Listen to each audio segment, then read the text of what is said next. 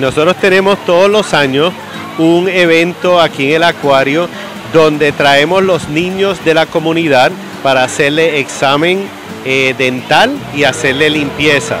Los pacientes o los niños que no tengan un dental home,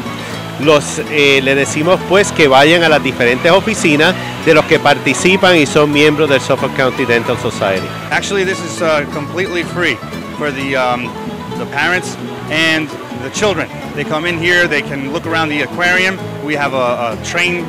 uh, display, we have a puppet show, we have a dinosaur from Fidelis uh, who has really sponsored us. And um, we have uh, volunteers from St. Charles Hospital, we have volunteers from Stony Brook University Dental School,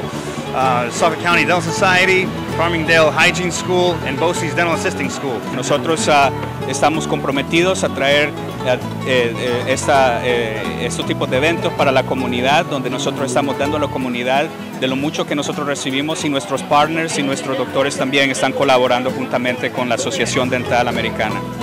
Well, well, I just help to organize everything, all these types of events for, for everybody, and, and uh, this particular event is uh, you know part of a nationwide program run through the American Dental Association,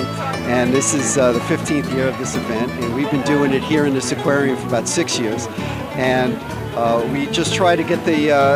uh, the opportunity for, for children that don't get an opportunity to get to the dental office on a regular basis to make sure that they get screened and we can identify any dental problems that they may have and uh, help their parents to find dental homes so they can get them to the dentist and get them treated